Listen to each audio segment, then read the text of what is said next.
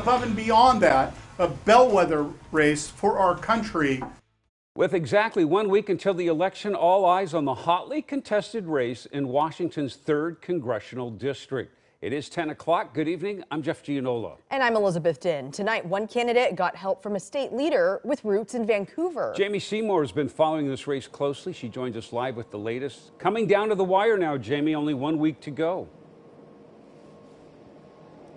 Yes, it's a tight race between Republican Joe Kent and Democrat Marie Gluesenkamp Perez. And with just days to go until the election, both candidates are pulling out all the stops. This is not our America, and we are taking it back.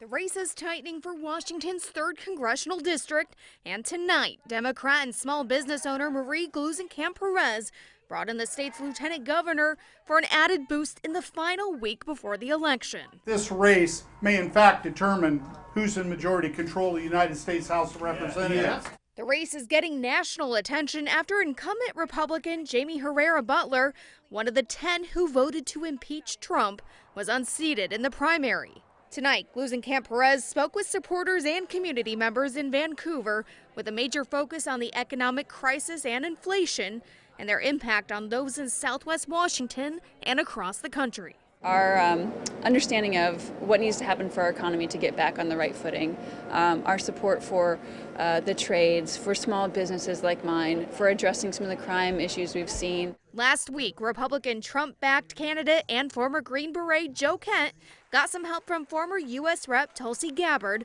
also speaking to the impact of inflation. Those bills did nothing to alleviate any kind of inflation. As a matter of fact, they added new taxes on the domestic energy production. With just one week to go, this race could come down to the moderate and undecided voters in District 3.